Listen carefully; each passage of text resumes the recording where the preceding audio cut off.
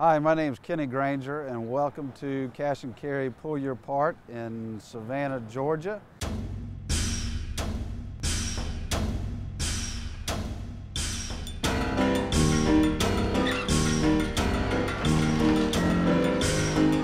know, it's a family-run business. We've been in business since 1966 in Savannah, Georgia. We have a deep history here. Savannah is a great place. Well, Savannah's a great town. I mean, uh, you know, there's there's a lot to do here, a lot to see. Um, it's historic. It's just a beautiful historic city. It has a lot of uh, a lot of history, and you can tell when you're when you're downtown um, in any of those areas. You can tell that you know there's a lot that, that's happened here.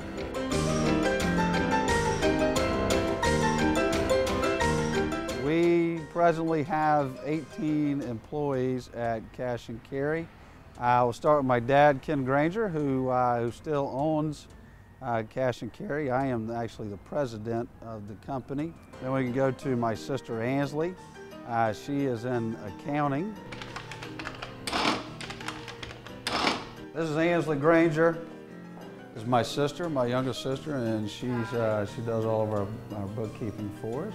Kind of keeps everybody level and uh, when we all get crazy. And my other sister, Letitia, she works on the, uh, the front counter.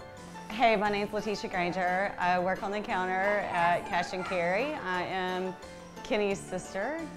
And she's definitely uh, a little more active and outgoing. I guess if we could have one wild card in the, in the family, uh, that would be her, uh, in a good way though. We, we don't get along all the time, we do.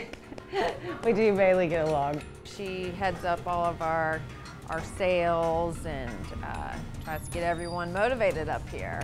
We have Simon who does all of our crushing. Arthur, Arthur Moss. How you Say hello to doing? the camera. How you doing? Right hand man at the counter. Dad is Simon. He runs forklift. He does all the crushing. Crushing. Crushing. The fun part. this is LaRon. LaRon works up on the front counter. He usually actually only works on the weekends, but I think he's gonna start getting some more days in here. This is Miss B. She um, does a lot for us here. she works up here a couple days a week. We also have Johnson Taylor. He runs security for us.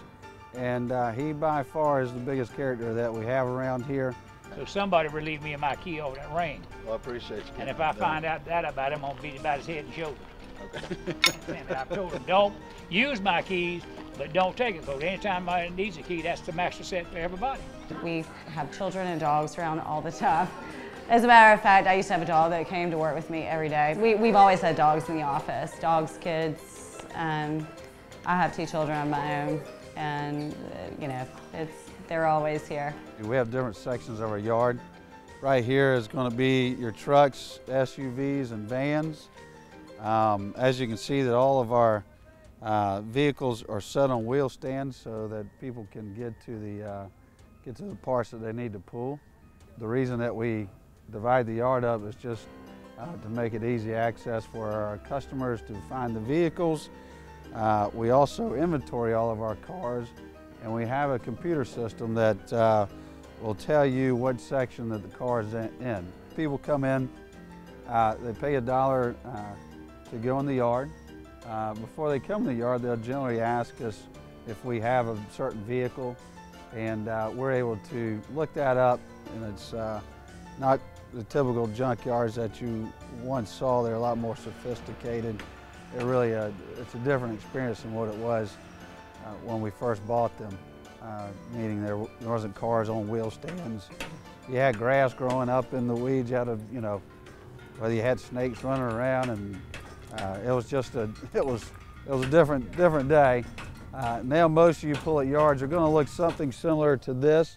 This is the, uh, the core warehouse and Trey is separating all the cores that we took off of the cars that we crushed today. Uh, that right there is all the wiring harness, which has copper in it, all the loose copper, aluminum, starters, alternators, compressors, radiators, condensers, uh, anything that has uh, commodity value to it. We try to take off. The yard itself is, uh, we have 12 acres. Our yard will hold uh, up to a thousand vehicles and we generally keep the yard full. Uh, we buy between 100 and 120 a, a week and we'll, we'll crush as many as we buy generally. Just about everybody works here, I would say, is a fix-it person to some degree. Um, that's kind of a requirement for working in salvage yards to know parts. Just like most of our customers, um, a lot of our employees, they, they do work on their own cars and they get a lot of parts from us. You'll find our customers may be the biggest characters we have. We're gonna send a tape in and see if we can be on this. Okay, okay. Y'all, uh, Well, we y'all should. Make it look, yeah, I think we so. should be. I think we can make it. I know we're gonna make it. Our customers are like repeat customers. It's a lot of mechanics. It's a lot of people, and then it's just you know from people that are just fixing their own car.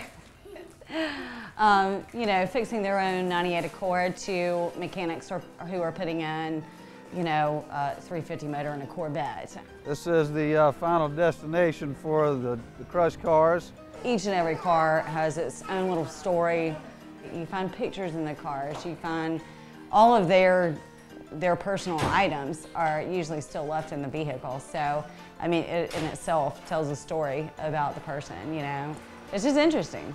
As awful as it sounds too. I mean, you know, you think about what happened to was it a family driving the car? Was it, you know what I mean? If it's wrecked or whatever. Um, and especially if it's badly mangled, you know? I mean, it's like, what happened to these people? You know what I mean? Who were they? You know, each car to me is like personal. We hope that you decide to, uh, join us in Savannah and come to Cash and Carry and film Junkyard Wars. Uh, we would love to have you and uh, we would definitely roll out some Southern hospitality.